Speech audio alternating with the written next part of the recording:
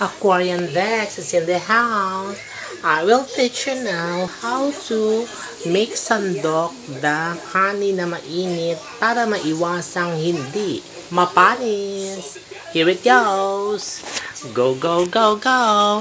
First, luto na yung sinaing. Ayan, luto na siya. So, sasandukin natin siya ng patagilid. Ayan. Hahayaan natin hindi nakadikit yung kanin sa gilid-gilid kasi yan yung pinapatakan ng tubig na umaagos within the rim of the rice cooker or ng kaldero. So, ayan ha. Inaalis natin. So, ang makikita na lang natin lahat, puro nasa gitna na lang. Yan. So, pag meron na tayong wet towel, pupunasan natin to. Punas, punas, punas, para yung mga namuong tubig dyan ay ating maaalis na. At hindi siya babagsak doon, totally sa kanin, na siya nagsasanhi ng pagkapanis. Kasi may water-water siya. So, that's it.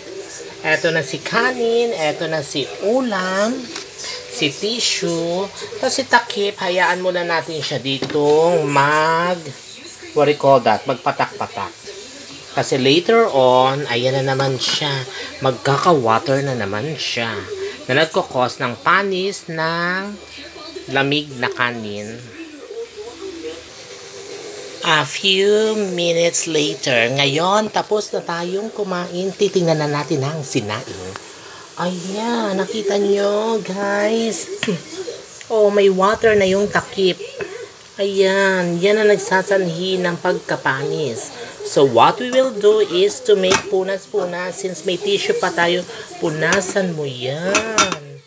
Kasi pag bumaba na naman yan dito sa may kaldero, sa may sinaing, magkokos na naman ng additional water dito sa ating ano, kaldero or rice cooker o kung ano man yung saingan nyo.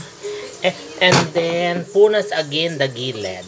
Punas, punas, punas. Kasi, mainit pa kasi siya. So, ganyan ang mangyayari.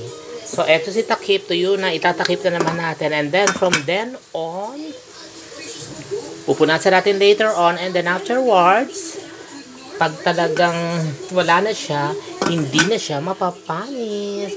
Bye, bye, bye. This is Aquarian Bag saying goodbye to all of you. See you on my next tips in my blog. Bye, bye.